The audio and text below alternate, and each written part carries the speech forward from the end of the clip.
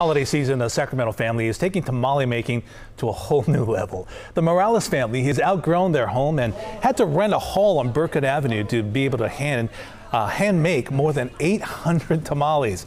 And you can see the line of steamers set up there outside.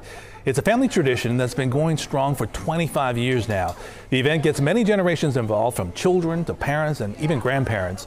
They all have aprons with their names on them, and beads are awarded to the participants each year. The grandmother who started this tradition says that it keeps their culture alive. Her eight year old grandson Dominic says that he's proud to help make tamales.